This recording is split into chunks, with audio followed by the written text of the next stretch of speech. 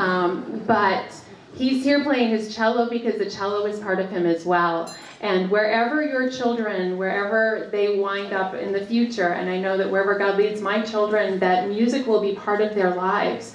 And it's uh, something that, and, and I always say, you've heard it before, I know that my no one's going to be playing lacrosse probably when they're 70, right?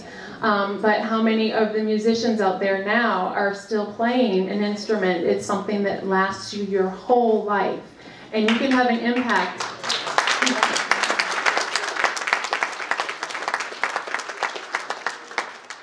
You have an impact on the people around you, your family, your friends, the, the community that you live in. You can have an impact with your